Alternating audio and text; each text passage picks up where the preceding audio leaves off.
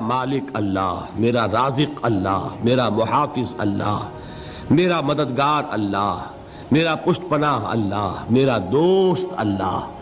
ये दोस्ती है अल्लाह की, जो लुबे लुबाब है, हासिल है ईमान का। इसी का नाम विलायत है।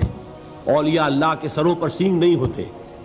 जिसके दिल में ईमान राशिक हो चुका हो, वही अल्लाह का वली है। जिसे अल्लाह पर यकीन हो चुका है, वही अल्लाह का वली है। जिसे यकीन है अल्लाह मेरे साथ है। मेरा मददगार, मेरा पुष्पना मेरा साथी, मेरा दोस्त, मेरा महबूब, मेरा मुहिब। अल्लाह ईमान से मोहब्बत करता है। वल्लाह युहिब्बुस्सादिकीन इन अल्लाह युहिब्बुल्लज़ीना युकातिलूना फ़ी सबीलिही सफ़न कान्नहुम बुनियानुम मरसूस।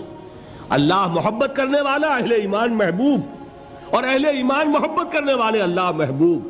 वल्लजीन आमन अशद हुब्बन आप तस्वुर कीजिए जिसे ये रिश्ते ईमान, या रिश्ते विलायत हासिल हो जाए।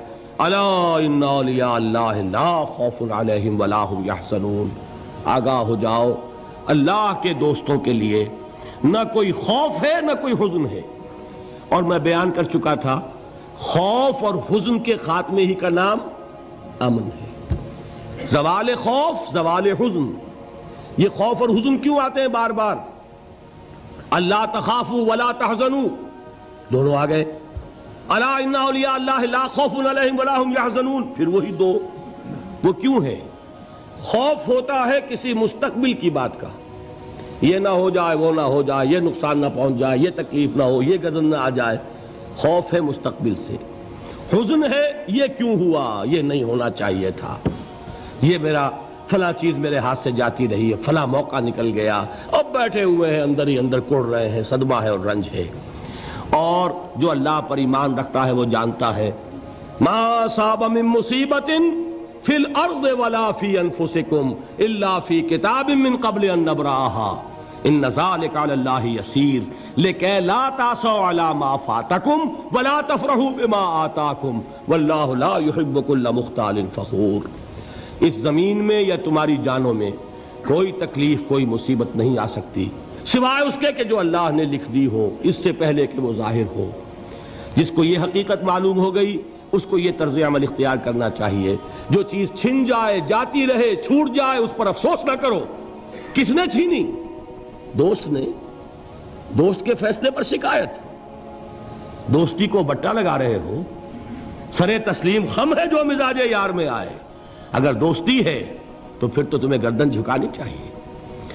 कि हर च साकी मारीख ऐन अल्ताफस्त जो भी मेरा साकी मेरे प्याले में डाल दे, उसका कर्म है। जो उसकी तरफ़ से आए, उस पर कोई रंज नहीं, कोई सदमा नहीं, कोई गम नहीं, कोई शिकायत नहीं, कोई शिकवा नहीं। और जो होगा, वो उसके इज्न के बगैर नहीं होगा। और उसका इज्न होगा तो यकीनन मेरे लिए खैर ही खैर है। चाहे वो नागवार शय हो, बजाहिर मुझे अच्छी ना लग रही हो मेरी शॉर्ट साइटेडनेस में मुझे वो नज़र आ रही है कि मेरे लिए बुरी है।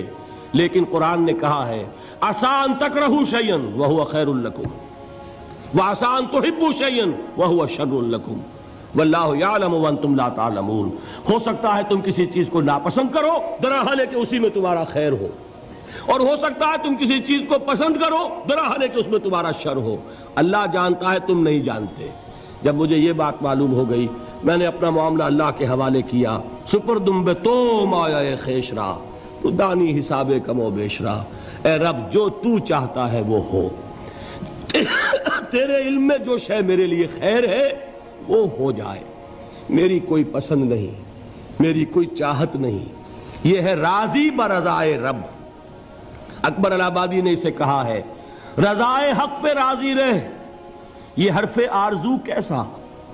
खुदा खालिक खुदा मालिक खुदा का हुक्म तू कैसा?